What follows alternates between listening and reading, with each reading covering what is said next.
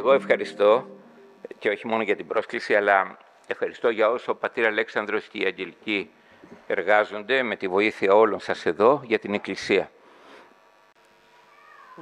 Ευχαριστούμε πολύ, Πάτερ Βασίλειε. Ευχαριστούμε πολύ. Ε, εγώ ήθελα να ρωτήσω... Ήθελα να ρωτήσω εάν κάποιος, ε, ας πούμε, μας, έχει, μας κάνει διαρκώς κακό, μας συκοφαντεί, μας βλάπτει διαρκώς και επανειλημμένος. Ε, με ποιο τρόπο θα μπορέσουμε, ας πούμε, εντάξει, συγχωράς τη μία, συγχωράς την άλλη, την παράλληλη, ε, όταν τον έχεις από πάνω σου γείτονα, ας πούμε, και μπαίνεις μέσα στη Θεία Λειτουργία και διαρκώς θυμάσαι ότι αυτός, ας πούμε, δεν χάνει ευκαιρία να σου, να σου κάνει το κακό. Ναι. Ε, οπότε αυτά τα πράγματα είναι πολύ δύσκολα, εξαιρετικά δύσκολα να τα επιτύχει κανείς στη Θεία Λειτουργία. Οπότε, μάλλον εκτός είμαστε. Εγώ λέω για τον εαυτό μου. Ε, καταρχήν να ξεχωρίσουμε ανάμεσα στην συγχώρεση και στα όρια. Συγχώρεση πρέπει να είναι ανεξάντλητη, είπε ο Χριστός. Τα όρια μπορεί να χρειάζεται να μπουν. Μπορεί να χρειάζεται να μην συναντούμε έναν άνθρωπο, ας πούμε, εφόσον τόσο πολύ ανακατευόμαστε, ας πούμε, έτσι, ταραζόμαστε. Μπορεί να χρειάζεται να προστατέψουμε την οικογένειά μας από κάποιον άνθρωπο που μπορεί να τη βλάψει. Άλλο τα όρια. Η μάχη για τη συγχώρεση είναι διαρκής και είναι αδιάλακτη. Και επειδή τα πράγματα στην πνευματική ζωή δεν είναι άσπρο ή μαύρο, δηλαδή ή συγχώρεσα ή δεν συγχώρεσα, έτσι, σκαλοπάτια έχουν, αποχρώσεις έχουν, όλα, όλες οι αρετές. Γι' αυτό και δεν μπορούμε να πούμε τόσο εύκολα ότι είμαστε εκτός, επειδή ακόμα ταραζόμαστε που τον βλέπουμε. Το αν είμαστε εκτός, πότε είμαστε εκτός; Από την προσευχή και τη λατρεία. Όταν δεν καταβάλουμε προσπάθεια για τη συγχώρεση. Δηλαδή όταν το θεωρούμε ως αυτονόητο το θέμα, ότι εγώ έτσι θα ζήσω αντιπαθώντας τον ας πούμε κτλ.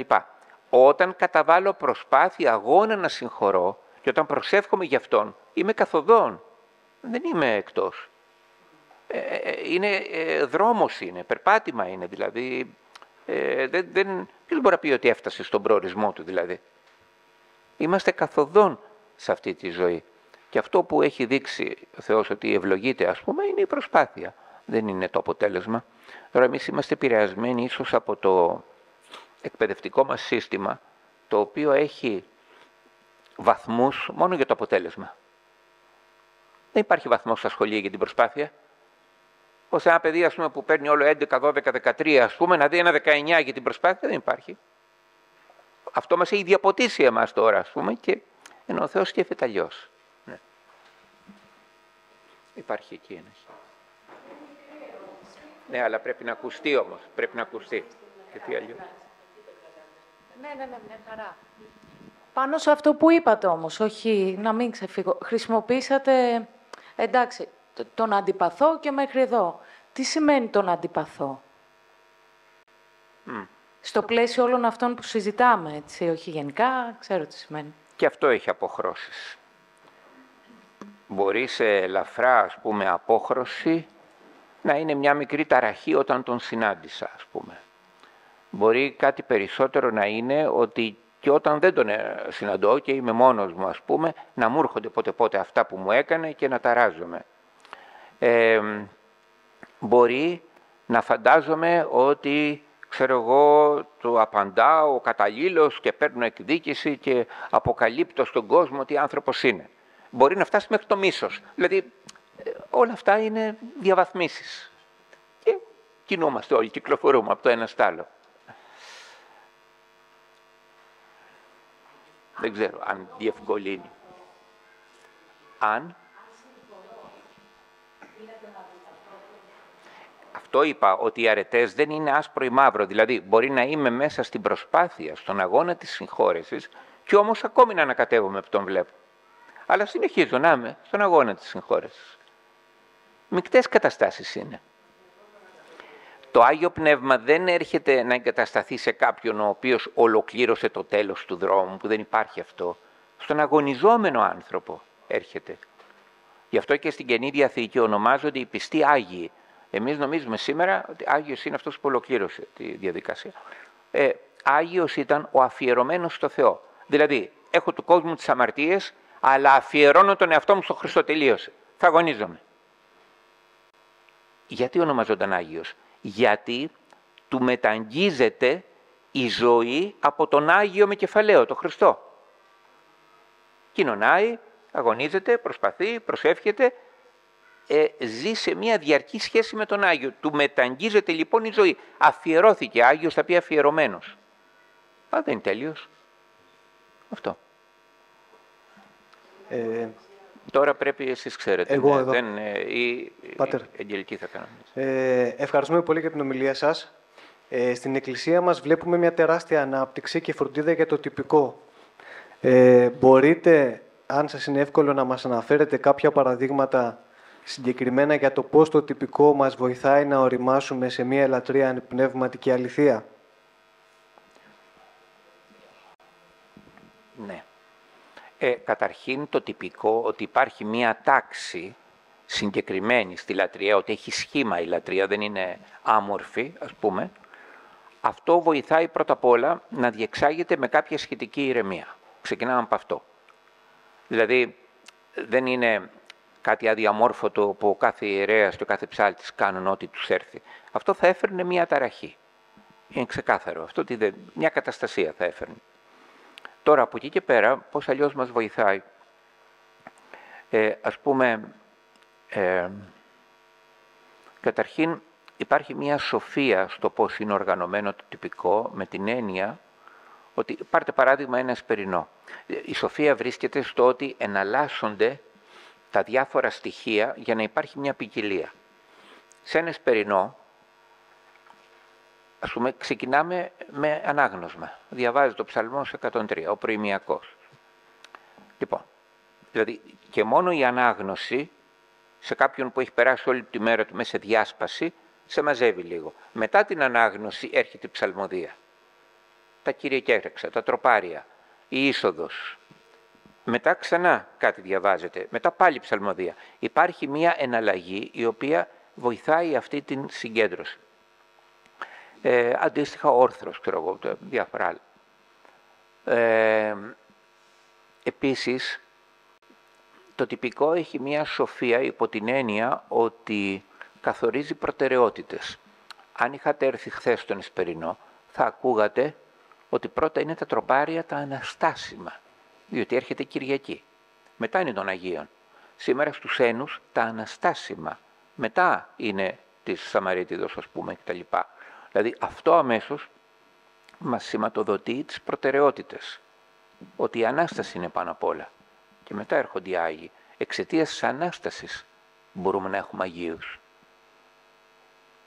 διότι ο αναστημένος Χριστός έτσι, έχει την ανθρωπότητα επάνω του, η οποία, στην οποία μεταγγίζεται η αγιότητα του Χριστού. Έτσι. Και πολλές άλλες λεπτομέρειες δηλαδή, ε, οι οποίες ε, μας μεταδίδουν ε, και μας μια αντίστοιχη συγκρότηση και διδασκαλία κτλ. Ε, το πρόβλημα είναι όταν το τυπικό το κάνουμε αυτοσκοπό. Και σε αυτό έχουν φταίξει και αρκετοί ιερείς και αρκετοί ψάλτες. Πάρα πολύ. Και έτσι μπορεί να ξέρουν τέλεια, ας πούμε, οι ψάλτες το τυπικό, αλλά να μην έχουν ιδέα τι λένε τα τροπάρια ή ο Απόστολος, ας πούμε. Μπορεί να ξέρουν οι ιερείς τέλεια το τυπικό και να μην μπορούν να εξηγήσουν, ας πούμε, ε, βασικά πράγματα της λατρείας. Εκεί έχουμε ξεφύγει, δηλαδή θεωρώ ότι υπάρχει μια κατάπτωση της Εκκλησίας μας γενικότερα. Αλλά το πρόβλημα δεν είναι η κατάργηση του τυπικού. Το ζητούμενο δεν είναι η κατάργηση του τυπικού. Το ζητούμενο είναι να ζωντανέψει το περιεχόμενο που είναι μέσα στο τσόφλι. Έτσι. Εάν μου βάζανε με ένα υποθετικό δίλημα, θέλετε ζωντανή λατρεία χήμα εντελώς, χωρίς τυπικό, ζωντανή και αυτοσχέδια ή θέλετε τη λατρεία όπως είναι τώρα; Μπορεί και να διάλεγα το πρώτο. Αλλά ε, αυτό που ζητώ είναι η τωρινή λατρεία να γίνει ζωντανή. Έτσι. Λέω υποθετικά, αν δεν γινόταν διαφορετικά, αν δεν άλλαζε, που αλλάζει. Άμα θέλουμε, αλλάζει. Απλώς δεν θέλουμε ακόμη. Ναι. Ε, δεν ξέρω ποιος... Α, ναι, ναι. Μου έδωσε η Αγγελική το ναι, ναι. Ε, ευχαριστούμε πάρα πολύ για την ομιλία. Ήθελα δύο ερωτήσεις να σας κάνω.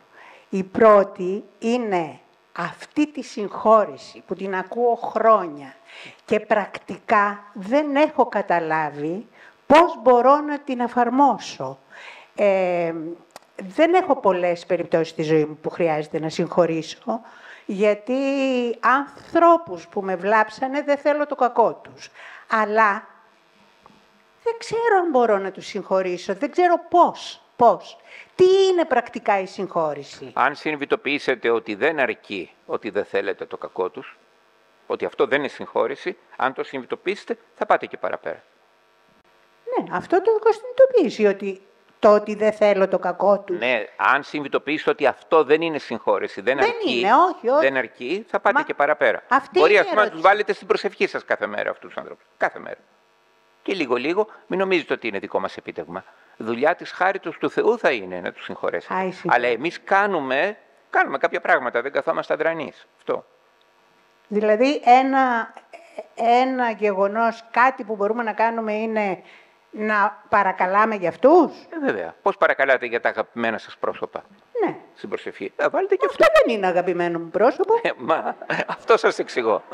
Έτσι θα συγχωρέσετε. Αλλιώς πώς θα γίνει; Με το να το κάνω αγαπημένο; Όχι, δεν μπορείτε να το κάνετε αγαπημένο, αλλά το βάζετε στην προσευχή σας την καθημερινή. Τα υπόλοιπα είναι δουλειά του Αγίου Θα το, Πνεύματος. επιχειρήσω. θα το επιχειρήσω. Μπράβο, ναι. Στην αρχή... Όχι, ε, είναι η δεύτερη. Ναι, ναι. Στην αρχή της ομιλίας σας Ναι. Είπατε ότι υπάρχει ε, κάποια αντίθεση ανάμεσα στους πιστούς και ε, φέρατε παράδειγμα σε μικρές ε, κοινότητες, σε επαρχίες που επειδή έχουν πε- πολύ συχνή επαφή οι άνθρωποι μεταξύ τους υπάρχει η αντίθεση, η κακία, το μίσος κτλ. Ίσως, Αυτό, συγγνώμη, ίσως την όχι. ερώτηση να κάνω. Συγγνώμη να το τροποποιήσω ναι, λίγο. ναι. Ίσως όχι επειδή έχουν πολύ συχνή επαφή, αλλά επειδή δεν έχουν δυνατότητα διαφυγής. Ωραία. Γιατί και εμείς ψυχρενόμαστε Πολύ με άλλους. ταιριάζει. Δεν μπορούμε. Αυτό που Ναι. μου είπατε πολύ ταιριάζει με την ερώτησή μου. Ναι. Δεν είναι μία πρόκληση λοιπόν αυτή του κληρικού, του ιερέα, του ποιμένα τους, να τους ε, φέρει σε επαφή. Θυμάμαι ότι φέτο, το Μεγάλο Σάββατο, το πρωί, ο πατήρ Αλέξανδρος βγήκε στην ωραία πύλη και την ώρα που, πει, που ήταν για να πει το αγαπάτε αλλήλους και πάντα κάνει τα χέρια του, ε, ε, ε, κάνει ένα σχήμα με τα χέρια του που το λέει αυτό, μας είπε ότι στην αρχαία εκκλησία αυτή τη, την ώρα οι άνθρωποι αγκαλιαζόντουσαν και φιλιόντουσαν. Εσείς δεν μπορείτε να φιληθείτε, δώστε τα χέρια όμως ο ένας τον άλλον. Ξέρετε τι στιγμή ήταν αυτή; Στο, στο, στην κοινότητά μας; Ε, δηλαδή αγαπηθήκαμε με το να δώσουμε και με τον γνωστό και με τον άγνωστο που καθόταν δίπλα μας. Ευχαριστώ. Αυτό. Έχετε δίκιο, δεν έχω Η να ερώτηση προσθέσω είναι γιατί κάτι. ο κληρικός δεν κάνει προσπάθεια, γιατί είναι πρόκληση αυτή, να τους φέρει σε επαφή αυτούς τους ανθρώπους. Ναι. Ευχαριστώ. με τη μακρά συνήθεια πώς ε, παγιώθηκαν τα πράγματα στη λατρεία μας, έχουμε σταματήσει να παίρνουμε πρωτοβουλίες. Για την ακρίβεια, βέβαια, μ, όχι δεν σταματήσαμε, αλλά να τώρα, να. Όταν δεν παίρνεις τι σωστές πρωτοβουλίες, θα εμφανίζονται εκείνοι που παίρνουν τις περίεργες πρωτοβουλίες. Αυτοί που το μεγάλο Σάββατο το πρωί χτυπάνε κατσαρόλες, ε, βγαίνουν και κάνουν αστεία κτλ. για να δείξουν πώς νικήθηκε ο θάνατος. Ναι. Ο θάνατος νικέται όταν συγχωρούμε, όχι όταν χτυπάμε κατσαρόλες και στασίδια. Τότε φανερώνουμε ότι νικήθηκε ο θάνατος. Καταλάβατε; Ναι, αυτό λέω. Ναι, ναι, ναι, συμφωνώ μαζί σας. Ακριβώς. Έτσι, έτσι. Ευχαριστούμε πολύ. Ε, υπάρχουν αποσπάσματα μ, στην αρχαία ελληνική γραμματεία όπου το πρόσωπο ταυτίζεται με την αλήθεια και με την αγάπη. Π.χ. ας πούμε Αντιγόνη από το Σοφοκλή λέει ούτε, ούτω συνέχθην, αλλά συμφιλή νέφη, δεν γεννήθηκα για να μοιράζομαι το μίσος, αλλά και την αγάπη. Τα πρόσωπα αυτά που προϋπήρξαν ε, του Χριστού, με έναν τρόπο εφόσον ταυτίστηκαν με την α, αλήθεια και την, α, την αγάπη, ε, κοινώνησαν ε, Χριστό, παρόλο που δεν το ήξεραν; Αυτό είχαν στο νου τους εκείνοι οι πατέρες που, των πρώτων αιώνων που μίλησαν για το σπερματικό λόγο, δηλαδή ότι ε, υπήρξαν εν σπέρματι, ας πούμε, στους αρχαίους υπήρξαν πλευρές της αλήθειας του αληθινού Θεού, ας πούμε. Ε, έχουμε και άλλα. Πολλοί είναι και στον Εσχύλο που λέει για τον, ε, στον ε, Προμηθέα το δεσμότη, μην περιμένεις τέλος τα βασανά σου αν δεν σε λυπηθεί ένας Θεός να κατέβει στον Άδη για σένα. Ο Σοκράτης στην απολογία του που λέει ότι θα κοιμάστε μέχρι να σας λυπηθεί ο Θεός να στείλει κάποιον να σας ξυπνήσει κτλ. Ε, αυτά όλα ε, ακριβώς είναι δράσεις του Θεού εκτός Εκκλησίας. Η δράση του Θεού εκτός Εκκλησίας υπάρχει πάντοτε, έτσι, και στην εποχή μας σήμερα. Ε, μια από τις διαφορές μας που έχουμε με τους φανατικούς αδελφούς μας, ας πούμε, τι είναι, ότι οι φανατικοί δεν παραδέχονται ότι υπάρχει δράση του Θεού εκτός Εκκλησίας. Δηλαδή βάζουν όρια και στο Θεό. Ενώ η Εκκλησία έχει όρια, αλλά που είναι για μας. Δεν είναι για το Θεό. Αφού ο Θεός έφτιαξε και την Εκκλησία. Δεν αυτό περιορίζεται ο Θεός, ας πούμε, να δράσει όπου θέλει. Ναι, πολύ σωστά. Ευχαριστούμε.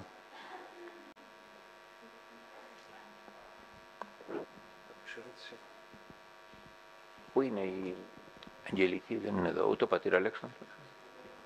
Ωραία, ωραία.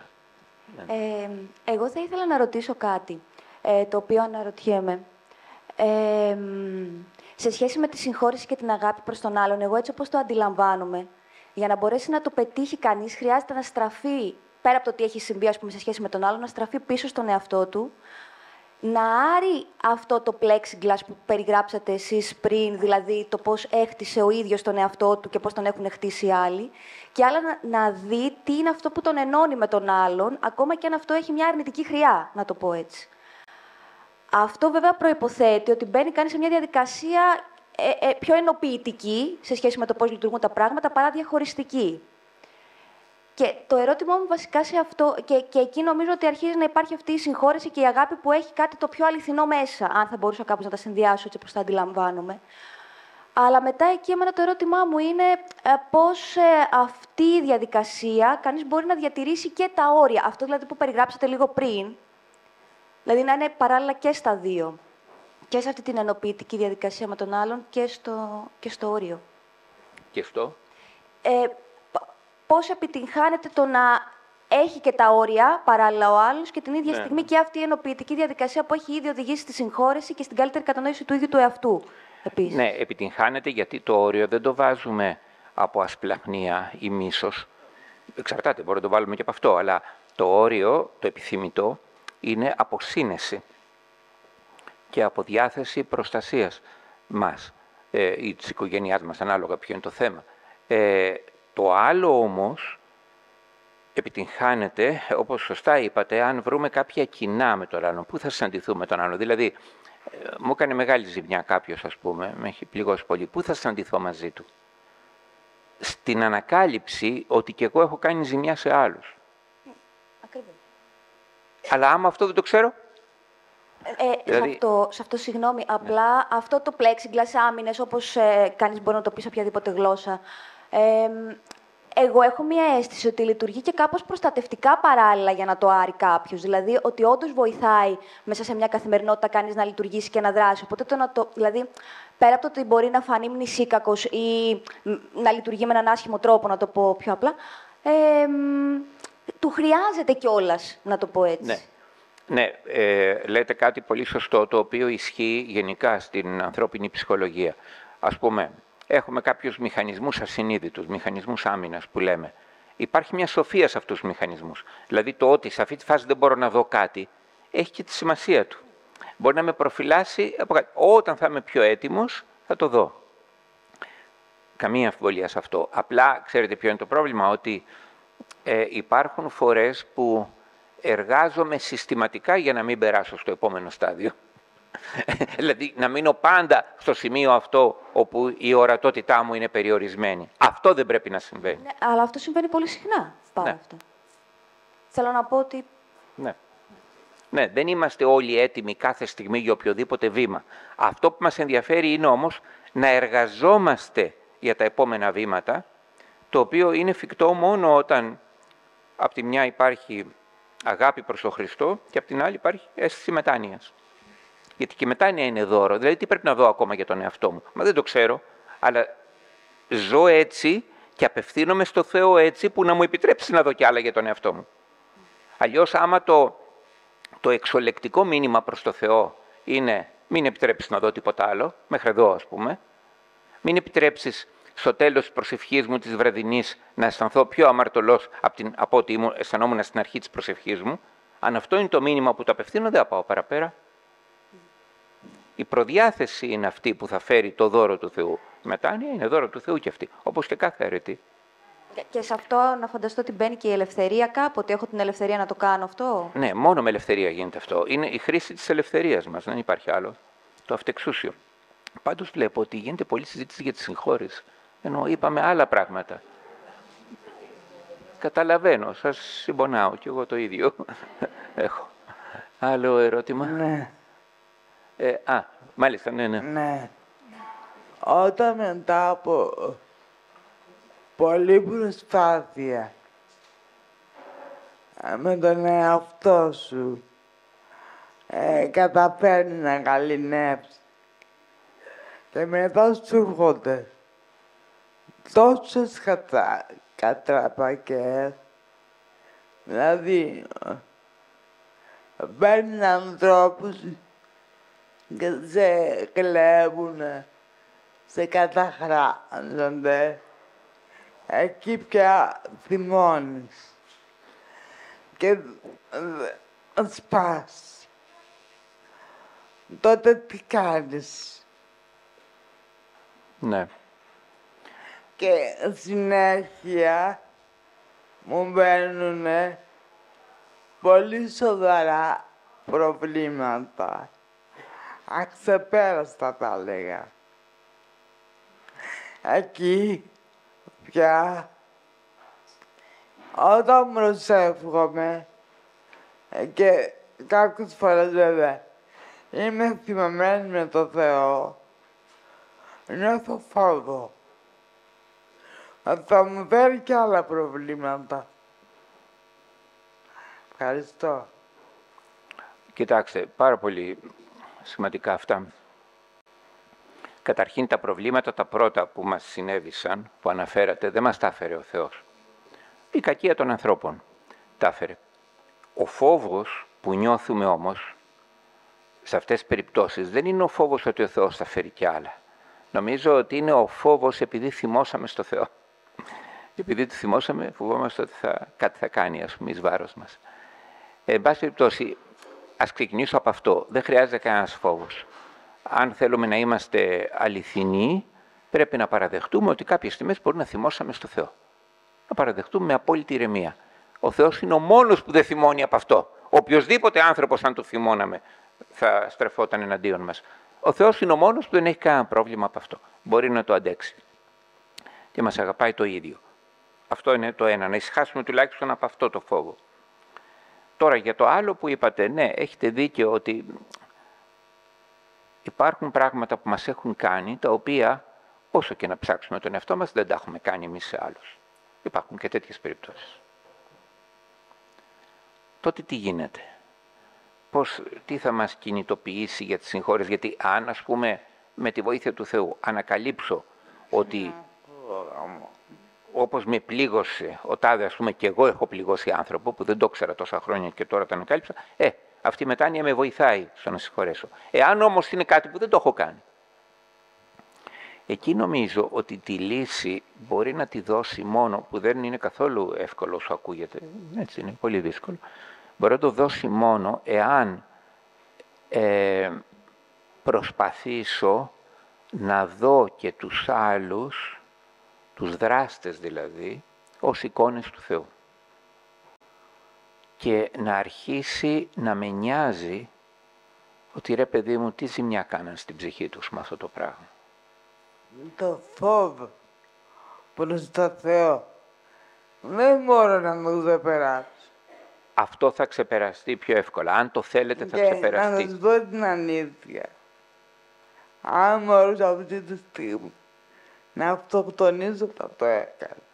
Αυτό είναι άλλο ζήτημα. Το ακούω με πολύ ιδέως και σεβασμό, αλλά μπορεί να έχει άλλα αίτια. Ο φόβος προς το Θεό, όχι, με κανένα τρόπο δεν μπορεί να οδηγεί εκεί. Αν Θέλω θέλουμε να την το ξεπεράσουμε, αμαρτία αυτό που λέω. ναι, αν θέλουμε να τον Αλλά ξεπεράσουμε, έτσι θα το ξεπεράσουμε. νιώθω. Ναι. Αυτό ίσως πρέπει να το δει κανείς και προσωπικά ε, με τον καθένα. Γιατί Γιατί συνέβη αυτό; πραγματικά δεν έχω κάνει, δεν έχω πειράξει κανέναν. Και όλα εμπόδια μου που έχουν παρουσιάσει στη ζωή. Από την ώρα που γεννήθηκα. Αλλά το φόβο προς το Θεό, ένα πιστεύω, είναι κάτι που αυτή τη στιγμή δεν μπορώ να το ξεπεράσω.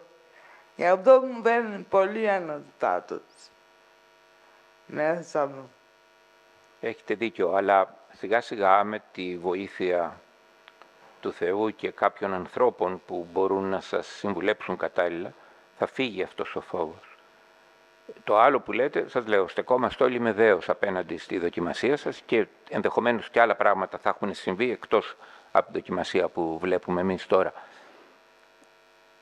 Να ολοκληρώσω όμως το προηγούμενο ότι και αυτό ξέρετε μπορεί να φέρει και ειρήνη στην ψυχή ότι εάν δούμε τους δράστες της αδικίας που έκαναν σε μας ως εικόνες του Θεού οι οποίες ζημιώθηκαν. Δηλαδή ως εικόνες του Θεού που μπορεί να χάσουν τη σωτηρία τους. Ναι, Αυτό θα πολύ, μας πολύ. βοηθήσει πάρα πολύ να ξεπεράσουμε τον πόνο από αυτό που μας έκαναν, γιατί θα στρέψει την ενέργεια της ψυχής μας. Από εκεί που σκέφτεται συνέχεια τι πάθαμε, θα τη στρέψει στην αγάπη και τη φροντίδα για τους άλλους. Και θα ζητήσουμε σε αυτό τη βοήθεια Αγίων, οι οποίοι είδαν έτσι το, τους άλλους, τους δράστες. Καταρχήν ο Χριστός ο ίδιος που είπε «Συγχώρεσέ τους πατέρα μου, δεν ξέρουν τι κάνουν», δηλαδή για αυτούς νοιάστηκε. Και μετά έχουμε τον Άγιο Στέφανο που την ώρα που πέθανε από το λιθοβολισμό παρακαλούσε μες στα αίματα «Κύριε, μην τους υπολογίσεις την αμαρτία», δηλαδή τον ένοιαζε την ώρα που πέθανε, μην χάσουν την ψυχή τους αυτοί οι άνθρωποι. Ε, θα ζητήσουμε τη βοήθειά τους και θα μας τη δώσουν. Και βεβαίως μπορεί να χρειαστεί να πάρουμε και κάποια ψυχολογική βοήθεια, γιατί ξέρετε αυτά που λέμε τώρα μπορούν να γίνουν πράξη όλα αυτά, εάν δεν έχει πάν, πέσει πάνω μας το σύννεφο της μελαγχολίας και της κατάθλιψης. Άμα έχει πέσει αυτό, μετά δεν μπορούμε να διακρίνουμε. Φοράμε κάποια γυαλιά που τα βλέπουμε όλα μαύρα κτλ. Πρέπει να διορθωθεί αυτό για να λειτουργήσουν τα άλλα. Να σας πω την αλήθεια. Αυτό που άκουσα. Γιατί δεν φοράω το ακουστικό μου. Και δεν τα άκουσα όλα πολύ καλά. Ε, στο τέλος, μ' άρεσαν πάρα πολύ. Στην αρχή, τα πολλά πρέπει, δεν μ' άρεσαν. Ήταν ένας άνθρωπος που δουλεύει με τον εαυτό του. Και εδώ νομίζω είναι πάρα πολλοί αυτοί οι άνθρωποι. Τόσο πρέπει σε απομακρύ... απομακρύνουν λίγο. Συγγνώμη αν σας προσβάλλω. Όχι, σας ευχαριστώ. Μου Αλλά λέτε να είμαι ψάξω πολύ εάν είπα ειλικρινής. πολλά πρέπει σήμερα. Αυτό πρέπει να το δω, ναι. Μήπως, Με- χωρίς να το καταλάβω, είπα. Ε, Να δώσουμε την ευκαιρία και σε άλλους. Ευχαριστώ πολύ πάντως. ναι, ναι. Το παίρνω. Όχι καθόλου, με βοηθάτε να το ξανασκεφτώ. Τώρα που υπάρχει και βίντεο, θα το δω και θα... Η επόμενη φορά θα είναι καλύτερη. Εσείς ήσασταν η δοκιμή η πρώτη. Εντάξει. Ε, πατέρα Βασίλη, δεν ξέρω τώρα, άνοιξε ίσως σε βάθος λίγο η κουβέντα, αλλά θα ξαναέρθω λίγο σε όλα αυτά που ακούσαμε.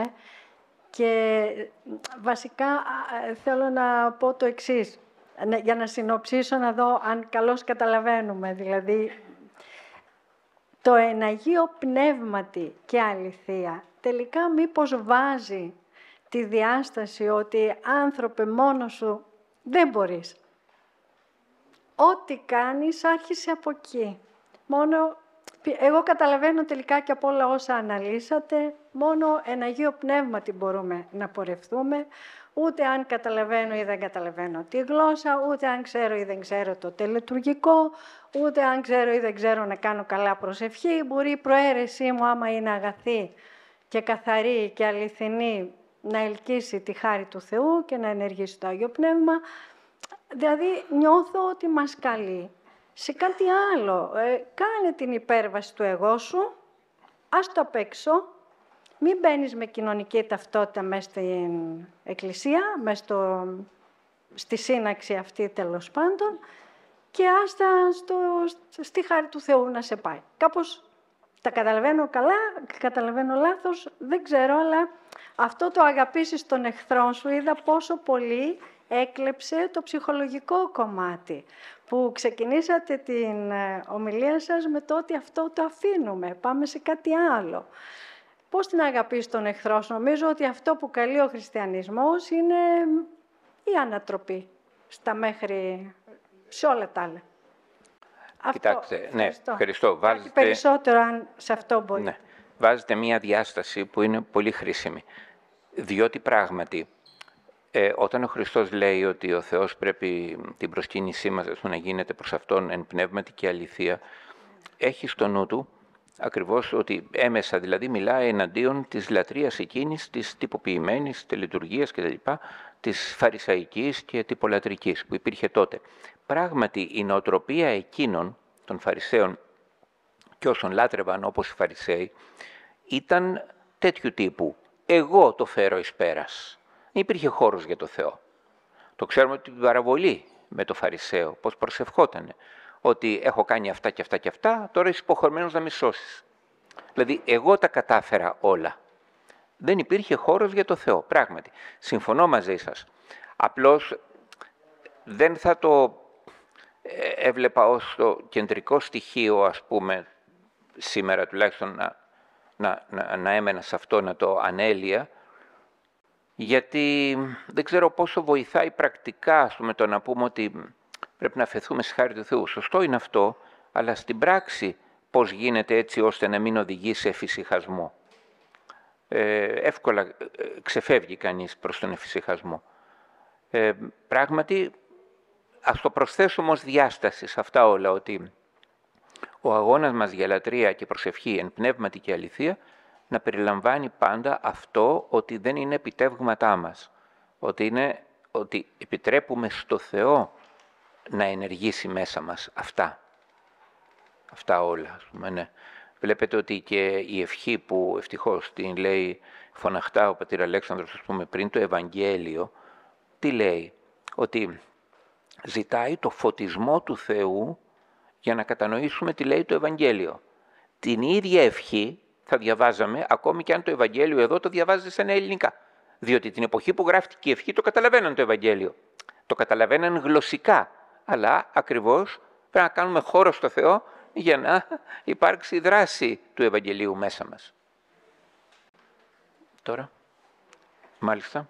Ε, ε, ήθελα να πω κάτι εγώ. Α, ωραία. Σε κάποια ερώτηση νωρίτερα, σαν άκουσα για την ε, όρημη προσευχή και νομίζω ότι το περάσαμε έτσι. Μήπως θα μπορούσαμε να πούμε κάτι για την ανώριμη και την όρημη προσευχή; Δηλαδή φαντάζομαι από το να είμαστε ζήτουλες συνέχεια, όπως όταν, είναι, όταν είμαστε παιδιά, ανώριμοι, ναι. στο να περνάμε στην ευχαριστία, στην ε, ευγνωμοσύνη. Κάτι να πούμε για τη διαφορά που μας είπες, Πάτερ, για κάποιους εξομολογούμενους, που όλοι είμαστε μέσα σε αυτό νομίζω. Ε, ότι σαν να μην οριμάζουμε στην προσευχή σαν να μένουμε Ναι, ναι, όντως. Αλλά το είπα όχι με την έννοια στο δίπολο όρημη, ανώριμη, αλλά στο ότι η προσευχή εκεί γίνεται τελετουργία. Δηλαδή χάνει το... το δηλαδή αγοράζεις αυγά, πας στο σπίτι ας πούμε και είναι άχρηστα μέσα. Υπάρχει μόνο το τσόφλι. Ναι. Ε, πράγματι όμως έχει βάση αυτό, γιατί για να μην γίνει τελετουργία η προσευχή, να μην ξεπέσει μόνο σε μια τελετουργία, θα πρέπει να είναι όρημη. Τι θα πει αυτό; Θα πρέπει να αντιστοιχεί στην ηλικία μου και στη διανοητική πορεία που έχω κάνει και στην συναισθηματική και υπαρξιακή μου πορεία. Δηλαδή, θα πρέπει να αντιστοιχεί στο, στο πώς προχώρησα και ζω, ας πούμε, ως άνθρωπος. Να αντανακλά αυτό που είμαι ως άνθρωπος. Υπ' αυτή την έννοια δηλαδή τη λέμε όρημη την προσευχή. Όχι, όρημη δεν είναι η προσευχή όταν λέει πολύ ωραίες λέξεις και υπέροχες έννοιες. Ένας άνθρωπος ο οποίος από χαρακτήρα ή παιδεία έχει φτωχό λεξιλόγιο και ο οποίος στην προσευχή του ας πούμε λέει ελάχιστα λόγια, αλλά η καρδιά του δακρύζει και ματώνει ας πούμε όταν τα λέει, αυτή η προσευχή είναι όρημη. Ας μην έχει μέσα διατυπώσεις. Έτσι. Δηλαδή, γιατί, διότι αντιστοιχεί σε αυτό το οποίο είναι αυτός ως άνθρωπος. Εκφράζει αυτό που είναι. Ο 40χρονος όμως που κάνει την προσευχή του 10χρονου, η προσευχή του δεν είναι όρημη, γιατί έχει βάλει πολλά διαχωριστικά ανάμεσα. Δηλαδή επιτελεί μια τελετουργία μόνο που του είχε μάθει μάνα όταν ήταν μικρός, ας πούμε. Δεν συμμετέχει η καρδιά. Αυτό είναι που την κάνει ανώριμη την προσευχή. Η ζωντάνια. Στην Παλαιά Διαθήκη ο Θεός το λέει σε ένα προφήτη ε, ως εξής ότι αυτός ο λαός λέει με τιμάει με τα χείλη, αλλά η καρδιά τους είναι μακριά από μένα. Κάνει αυτή την αντιπαράθεση χιλέων και καρδιάς. Έχουμε, έχουμε τρεις ερωτήσεις ακόμα που έχουν ήδη δηλωθεί και μετά θα τελειώσουμε. Ε, κάτι άσχετο, κύριε Θερμέ, πατέρα Θερμέ, μου ήρθε τώρα, αν μπορούμε να το συνδέσουμε μέσα σε αυτά που είπατε, σαν συνειρμός. Η ετυμολογία της έννοιας αλήθεια ως η μη λύθη. Ε, ότι κάτι βγαίνει από τον ύπνο και σκεφτόμουν να, ε, αν μπορούμε να το συνδέσουμε μέσα στα, στο σχολιασμό σας. Δηλαδή, ε, αν μπορούμε να το συνδέσουμε με τον υπαρξιακό ύπνο, με την επίγνωση, με το πώς αυτό μπορεί να συνδεθεί με την τυφλότητα ε, ή πώς ε, αυτό το καθοδόν ε, είναι μια ορατότητα που ανοίγει δρόμο μες στην καρδιά. Ναι, ευχαριστούμε. Αυτό είναι πράγματι πολύ χρήσιμη υπενθύμηση. Ε, συνηθίζουμε, έχουμε δει ίσως σε κείμενα, να συσχετίζουμε την μη λύθη με την αποκάλυψη κάποιου που είναι αλήθεια. Δηλαδή κάτι που είναι αλήθεια δεν το αφήνουμε να το καταπιεί η λύθη, κάτι που είναι αληθινό δηλαδή, το λέμε τώρα κάνοντας χρήση του ίδιου όρου, δεν το αφήνουμε να το καταπιεί η λύθη και το φέρνουμε στο φως. Έτσι, σωστό. Αλλά έχει εφαρμογή και στο νόημα που είπαμε εδώ. Γιατί; Οι πατέρες λένε ότι ο, οι αρετές στον άνθρωπο είναι φυσικές. Δηλαδή η ανθρώπινη φύση πλάστηκε έτσι ώστε να έχει τη δυνατότητα να καρποφορήσει αρετές. Έχει την υποδομή γι' αυτό. Ας πάρουμε λοιπόν την αγάπη. Αν εγώ ξεχάσω ότι είμαι πλασμένος για την αγάπη, έτσι, έχω παραδώσει στη λύθη το πώς είμαι φτιαγμένος το κατάπιε η λύθη το ότι εγώ έχω τις προδιαγραφές για αγάπη. Με το να αγωνίζομαι να εξασκήσω την αγάπη, γίνομαι αληθινός. Δηλαδή βγάζω από τη λύθη αυτό το γεγονός, το πώς με έφτιαξε ο Θεός. Καταλάβατε. Δηλαδή ακριβώς ταιριάζει με αυτή την ε, έννοια της αλήθειας στον Ιωάννη. Ναι. Σας χαιρετώ κι εγώ Πρώτη φορά έρχομαι και αυτό που είδα με γέμισε μια χαρά τη ψυχή μου, βασικά. Γιατί από εκεί ξεκινάνε όλα, από τη ψυχή. Όταν η ψυχή είναι χαρούμενη, είσαι και εσύ χαρούμενος. Όλο σου το σώμα είναι χαρούμενο. Έχω λάθος αυτό; Όχι, όχι, Ναι. Ε, είπατε κάτι προηγουμένως πολύ σωστό ότι ο άνθρωπος γεννήθηκε για να αγαπάει. Αν ξεχάσει την αγάπη, έχει πεθάνει. Είναι ζωντανός νεκρός. Αυτή είναι η δική μου η άποψη, σύμφωνα με όσα έχω διαβάσει και όσα έχω ζήσει, γιατί είμαι 67 χρονών. Και έχω περάσει πάρα πολλά. Πιστεύω ένα πράγμα, ότι όταν ζητήσεις κάτι από το Θεό, από το Χριστό, από έναν Άγιο, όπως θέλετε πέστε το, αλλά το ζητήσεις από τη ψυχή σου, θα εισακουστείς. Αυτό έχω καταλάβει, γιατί το έχω κάνει, το έχω ζητήσει και όντως αληθεύει. Αλλά δεν λέω, σε παρακαλώ Θεέ μου, κάνε μου αυτό. Έτσι, στον αέρα. Το ζητάει η ψυχή σου. Όταν το ζητάει η ψυχή σου, σε ακούει. Όπου κι αν είναι. Δυστυχώς, ένα πράγμα είναι που με στεναχωρεί, ότι ένα παιδί γεννιέται χωρίς να ξέρει ποιο είναι το καλό, ποιο είναι το κακό, ποιο είναι το μίσος, η αγάπη. Μεγαλώνει μέσα στην αγάπη. Αλλά μεγαλώνοντας από το σπίτι, μετά στο σχολείο, μετά στην κοινωνία, αρχίζουν τα πρέπει. Τα πρέπει. Αυτό είναι που κάνει κακό στον άνθρωπο, εγώ πιστεύω. Το πρέπει. Και δεν σε αφήνουν να είσαι ο εαυτός σου. Να αγαπάς αληθινά. Ευχαριστώ πολύ. Ε, κοιτάξτε, το ότι εισακούονται οι προσευχές μας το είπε ο Χριστός ο ίδιος. Απλώς εκείνο που διαφέρει είναι το πότε θα εισακουστούν. Δεν γίνεται πάντα αμέσως. Και εμείς είμαστε βιαστικοί. Ναι, το θέλουμε αμέσως. Ε, και η τελευταία ερώτηση. ναι. Α, ναι. Βέβαια. Και παρακαλώ αναδρομικά να διορθώσει ως ε, Όχι, είπα όχι, λάθος. δεν δεν διορθώνω ούτε έχω τέτοιο ρόλο. Απλώς επειδή το είπατε πάρα πολύ ωραίο ε, και αναφερθήκατε στον Ιωάννη. Σήμερα έτσι στην έρευνα ανακαλύπτουμε σιγά σιγά πράγματα που μας κάνουν και εμάς ήδη σε εντύπωση. Ο Ιωάννης δεν είχε κανέναν κύκλο, απλώς σοκαρίστηκε γι' αυτός σαν Ιουδαίος που ήρθε σε επαφή με τους Έλληνες. Οι Έλληνες ήταν, και αυτό είναι το λάθος μας, ακόμα και σήμερα στην Εκκλησία που τους αποκαλούμε ειδωλολάτρες, οι Έλληνες ήρθαν βαθύτατα προετοιμασμένοι για τον χριστιανισμό. Επειδή είμαστε κάτω από τον Παρθενώνα, μόνο η ανάλυση αυτού του ναού μας δείχνει ότι ήταν και βαθύτατα προβληματισμένοι και βαθύτατα ετοιμασμένοι για τον χριστιανισμό. Γι' αυτό και ο χριστιανισμός ε, κατά κάποιο τρόπο και θεμελιώθηκε. Ο Ιωάννης και ο Παύλος απλώς ενε- ενεργοποίησαν, όπως λένε στο, στο έπακρο, αυτό που λέμε τα χαρίσματα που έλαβαν από την Πεντηκοστή.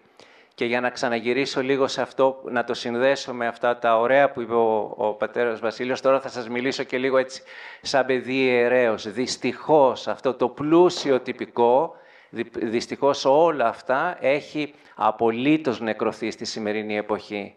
Ε, το έχω ξαναπεί έτσι πάρα πολλές φορές, ακόμα και σε αυτό το ναό, που όλοι είμαστε πάρα πολύ ευχαριστημένοι, κάποιος που τα μελετά πάρα πολύ αυτά νιώθει φοβερούς ε, περισπασμούς, όπως λέμε. Και πρέπει και σιγά σιγά, ε, θα μου επιτρέψετε να το πω αυτό, Πατέρα Βασίλη, ότι πρέπει να μπούμε όλοι μας σε αυτή τη διαδικασία της εκπαίδευσης. Και με, εγώ να σας πω, το έχω πάντα και το εξομολογούμε, γιατί είμαστε νωρίο που εξομολογούμε, έχω πάντα μεγάλη αγωνία όταν τελειώνω μια ομιλία εδώ, αν θα οδηγηθείτε πάλι πίσω στα βιβλικά κείμενα. Αλλιώς είναι πάρα πολύ ωραία αυτά που είπε ο Πατήρ Βασίλειος, που είπε ο κ. Αντωνόπουλος, αλλά φεύγουν στον αέρα. Πρέπει να ξαναγυρίσουμε πίσω στα κείμενα και να ξαναβρούμε, όπως λέμε, όλοι μας το δικό μας βηματισμό. Και η Εκκλησία δεν έχει συνταγές στο βηματισμό. Κάθε καινούργια ερώτηση, όπως λέτε και σας προκαλούμε γι' αυτό, δείχνει σε εμάς που τα ερευνούμε αυτό που λέμε την παρουσία του Αγίου Πνεύματος μέσα από τα χαρίσματα που φέρνει κάθε άνθρωπος. Και αυτό θέλει πάρα πάρα πολύ δουλειά. Πώς το βλέπουμε αυτό; Στην πραγματικότητα τη δική μας. Είναι πολύ ωραία αυτά που λέμε, αλλά όλο αυτό το τυπικό, όλη αυτή η τελετουργία, όλο αυτό που λέμε δεν έχει αγγίξει τη νέα γενιά. Και νιώθει κανείς ότι η νέα γενιά την έχει προσπεράσει αυτή την εκκλησία αυτού του τυπικού που νεκρώθηκε πια, αυτού και αυτού του προβληματισμού. Και πιθανόν σαν τον Ιωάννη και εμείς να ενεργοποιηθούμε για όλη αυτή την διάδοχη κατάσταση που έχετε σε εμάς. Αυτό σαν ένα έτσι, βήμα προβληματισμού που προβληματίζει εμένα και πιστεύω και σιγά σιγά όλους μας. Σας ευχαριστώ. Ευχαριστούμε και να... Αμέσως, ναι. Να... Ωραία, ωραία. Ωραία. Ε, να προσθέσω σε αυτά που είπε ο κύριος Αντωνόπουλος ότι ίσως ήρθε ο καιρός σε αυτή τη νέα γενιά η οποία γυρίζει την πλάτη στην Εκκλησία και εν πολλής είναι δικαιολογημένο αυτό, σε, αυ- αυτή τη νέα γενιά η οποία ζει στον 21ο αιώνα και δεν έχει τίποτα κοινό στις παραστάσεις της με αυτά που έχουμε οι παλαιότερες γενιές, ίσως ήρθε ο καιρός να βρούμε, να ανακαλύψουμε σε αυτή τη νέα γενιά αυτό που η καινούρια πίστη ανακάλυψε στους Έλληνες τότε. Δηλαδή στους καλοπροαίρετους, στους όντες εκ της αληθείας. Ποιοι είναι σε αυτή τη νέα γενιά οι όντες εκ της αληθείας; Που όταν μιλάς με, με τα μοντέρνα παιδιά σήμερα, φυσικά υπάρχει πολύ μεγάλη ποικιλία, όπως σε κάθε ηλικία, σε κάθε γενιά, σε κάθε εποχή. Αλλά βρίσκεις, μέσα σε αυτή τη γενιά, βρίσκεις και εξαιρετικά καλοπροαίρετους ανθρώπους, ανθρώπους με μια έμφυτη, ας πούμε, ηθική και αναζήτηση της αλήθειας και λες γιατί αυτό το πράγμα να μην μπορεί να συναντηθεί με την πίστη. Οι παλαιοί τρόποι συνάντησης με τον κόσμο είναι από καιρό ξεπερασμένοι. Έχουν χρεοκοπήσει. Αυτό είναι αλήθεια. Όχι, δεν λέμε ότι φταίει καθόλου. Ναι, ναι, ναι. Λοιπόν, ο Θεός να σας ευλογεί, να σας φωτίζει. Ευχαριστούμε πάρα πολύ. δύναμη.